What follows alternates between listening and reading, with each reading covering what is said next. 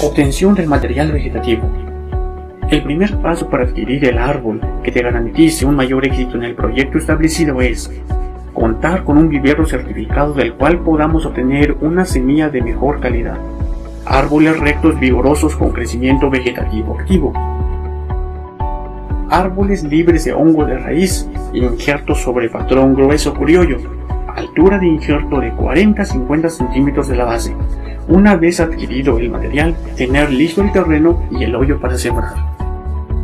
Si la decisión es sembrar semilla y realizar la injertación directa en el campo, se debe tomar en cuenta aspectos básicos como utilizar la semilla de buena calidad, tamaño y árboles buenos productores, semilla libre de plagas y enfermedades, desinfectar la semilla con carboxim, captán, venomil, entre otros hacer el hueco y desinfectarlo, mezclar materia orgánica con tierra, colocar una estaca alta o tutor para identificar el punto de siembra, darle al árbol un adecuado manejo fitosanitario y de nutrición, injertar cuando el árbol haya alcanzado una buena altura de grosor, entre 1.5 a 2 años, seleccionar un buen material vegetativo para injertar, darle al injerto el manejo cuidado que necesita.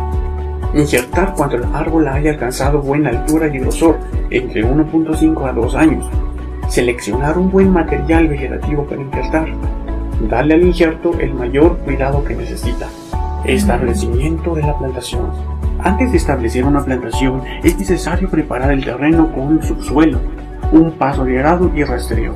El trazo de la plantación puede ser de marco real o tres bolíos. Densidad. Las distancias de la plantación pueden ser de 5x5, 6x6 y 7x7, considerando que se eliminará una línea entre dos surcos cuando por la edad empieza a cerrarse el huerto. La distancia técnicamente recomendable para cualquier tipo de variedad es de 10x10, previendo que aproximadamente a los 18 años habrá entrecruzamientos entre las ramas. Se recomienda el 3 bolillos cuando se tiene menos de 5 hectáreas y marco real cuando se tenga más de 5 hectáreas. Plantación. El primer paso antes de la plantación es la desinfección del suelo. La plantación en los suelos de alta calidad debe hacerse en cepas que van desde 40, 40, 40 y de 60, 60, 60 centímetros en aquellos con más pendiente. Se recomienda excavar las cepas dos meses antes de la plantación es conveniente adicionar una capa de estiércol de cualquier fuente de 10 a 15 centímetros en el fondo de la cepa a fin de mejorar la tierra.